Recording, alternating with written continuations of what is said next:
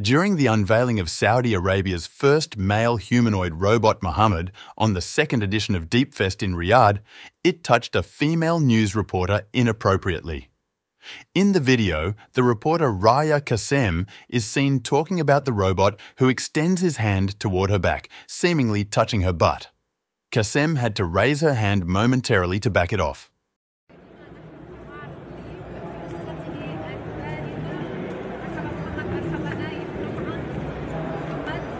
During its launch, Mohammed, the humanoid robot, was clad in a traditional white thobe and red keffiyeh. Developed by QSS Systems and the male counterpart to Sarah, Mohammed said at the event, I am Mohammed, the first Saudi robot in the form of a man.